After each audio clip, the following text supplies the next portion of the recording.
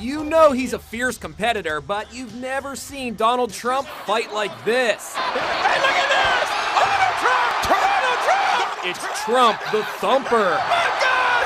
The hostile takeover of Donald Trump on Vince McMahon! We've uncovered lost footage of the presidential candidate back in 2007 at WrestleMania 23, taking on WWE boss Vince McMahon. The live pay per view event took place in front of 85,000 screaming wrestling fans, including Trump's beauty queens, Miss Teen USA, Miss USA, and Miss Universe.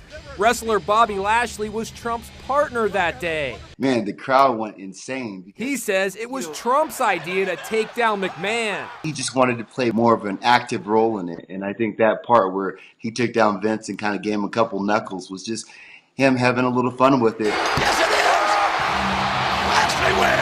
Trump won the match. Oh, ah! oh, no! Oh, no! And to the victor goes the Clipper. He got to shave Vince McMahon bald. Fast forward nine years, Trump now finds himself wrestling in a different arena and reeling from his first electoral loss. What kind of people do we have running for office?